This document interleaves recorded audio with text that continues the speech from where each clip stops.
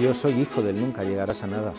Quien procede del nunca llegarás a nada es algo que llevas siempre ¿no? en tu espalda. Yo cuando estoy ante, no sé, ante un paso importante en mi vida, de esos que uno tiembla, a ver cómo va a salir, va a salir eso bien o mal, en la acera de enfrente antes de subir digo, venga Fernando, nunca llegarás a nada. ¿Quién es Fernando Beltrán? Fernando Beltrán es una persona como otra cualquiera que viaja en el mismo autobús de cada día y que aprende de lo que oye, de lo que ve y de lo que siente alrededor y luego lo traduce a palabras.